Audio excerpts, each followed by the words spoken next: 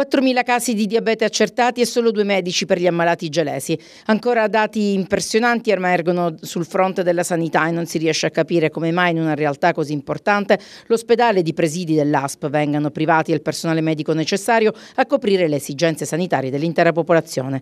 La provincia nissena non è certo sprovvista di medici, ma se da una parte si assiste ai continui incrementi presso realtà meno importanti dal punto di vista del bacino d'utenza, dall'altra si assiste alla depredazione nella sanità gelese.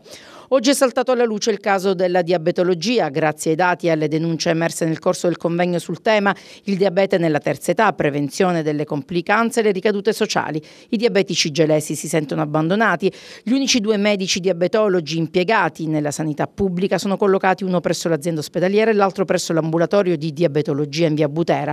I diabetici necessitano di controlli periodici, le liste d'attesa sono interminabili e gli ambulatori oltremodo affollati. Anche parlare di prevenzione diventa un optional per chi non può permettersi di ricorrere ad una visita privata per bypassare i tempi biblici delle liste d'attesa della sanità pubblica gelese. Sono emerse tante problematiche perché sono sommati tanti interventi di operatori ed altre Abbiamo registrato questi punti di debolezza, cercheremo di rappresentare con la CISL la funzione pubblica che si farà promotore di questa carenza di medici e ci auguriamo che interverranno in un modo forte con la, la direzione generale che subentrerà credo e spero a giorni e che possa eh, focalizzare eh, questa, questa carenza di medici soprattutto diabetici che si occupano di diabetologia a gela e che possono raddoppiare, replicare perché chiaramente eh, quello che è emerso le liste d'attesa sono tantissime. Gela è la, la, la, la città più